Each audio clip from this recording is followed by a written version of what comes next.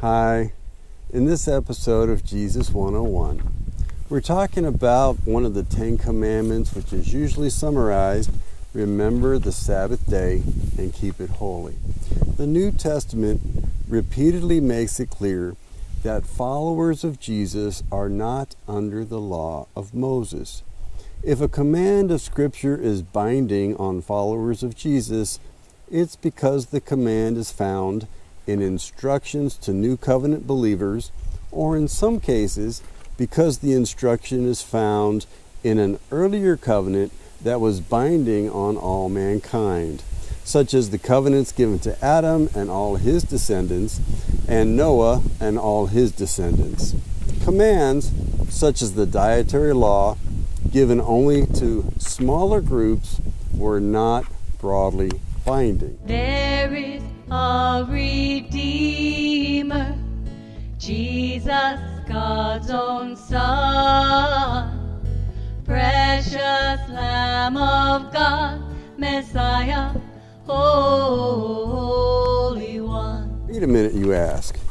Am I telling you that the Ten Commandments aren't binding because they're in the law of Moses?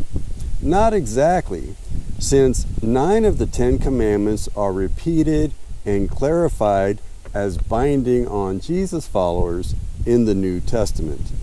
Idolatry, murder, adultery, false witness, and so on are still sins according to the New Testament. There is no ambiguity. But the command to rest on the seventh day is not merely absent from New Covenant directives, it is explicitly abrogated in that followers of Jesus have liberty of conscience to either regard every day alike or to regard some days as more sacred than others. The contexts of Romans 14 and Colossians chapter 2 emphasize freedom of conscience both regarding food and regarding special days. We're told, Therefore, do not let anyone judge you by what you eat or drink, or with regard to a religious festival, a new moon celebration, or a Sabbath day.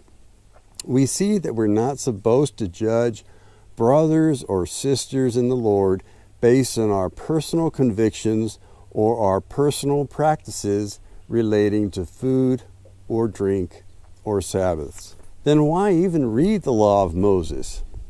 because the New Testament tells us that these things were written down as examples to us, on whom the fulfillment of the ages has come.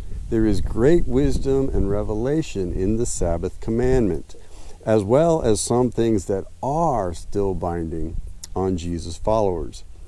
Remember the Sabbath day by keeping it holy. Six days you shall labor and do all your work but the seventh day is a Sabbath to Yahweh your God. The New Testament has a lot to say about doing all of our work. If a man does not work, nor shall he eat, to make it our ambition to mind our own business, to lead a quiet life, and to work with our hands, to earn so we can care for people in need, and not to burden others, and to work as unto the Lord and not for men the law of Moses continues On the Sabbath you shall not do any work, neither you, nor your son, or your daughter, nor your male or female servant, nor your animals, nor any foreigner residing in your towns. Keeping in mind that Jesus tells us that the Sabbath was made for man, and that Romans 14 and Colossians 2 both teach us to honor the consciences of others relating to food and special days, including the Sabbath, we need to give our wives, our mature children, our employees, and our brethren full liberty to honor their chosen Sabbath differently from how we honor the Sabbath, or if they choose, not at all, by considering every day alike.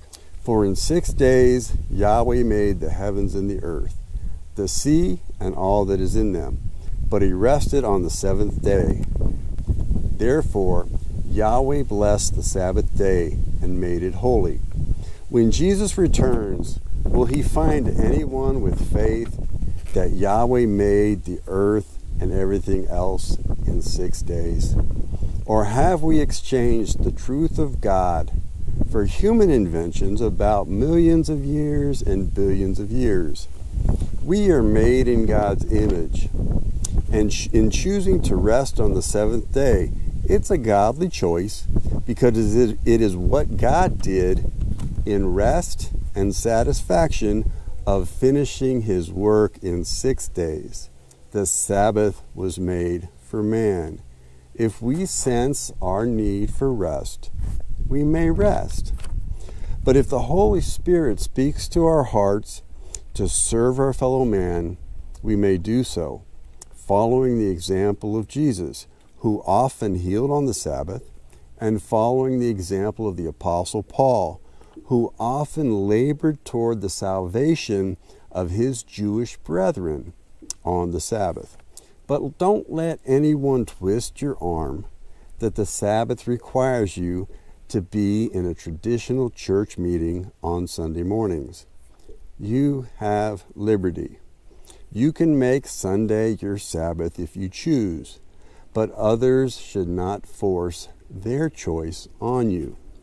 The Bible never speaks the first day of the week as a Sabbath, but only to the liberty of each believer. Groups of believers have complete freedom to assemble on whatever day and in whatever manner they choose. Messianic Jews tend to prefer meeting on the seventh day of the week, the traditional Jewish Sabbath. God bless them. Other Christian groups prefer meeting on Sundays. God bless them. I often prefer midweek meetings.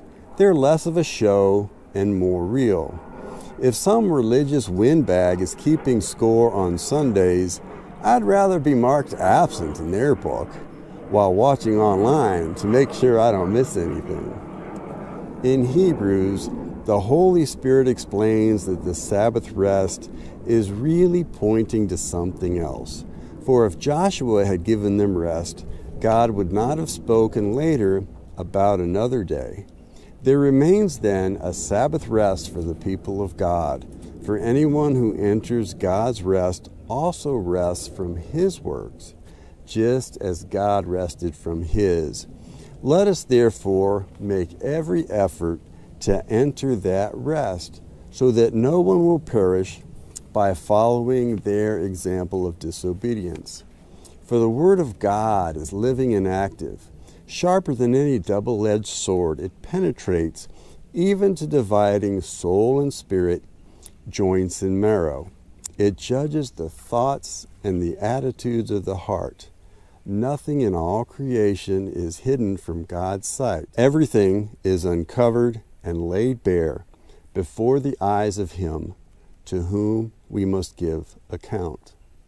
Looking forward to this rest might be our best way to remember the Sabbath.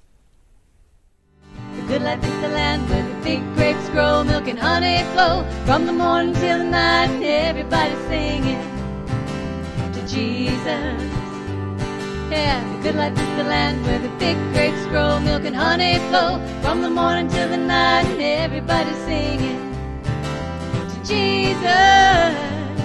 Oh, I, of Jesus. La la la la la la la la la la la la la. I love Jesus.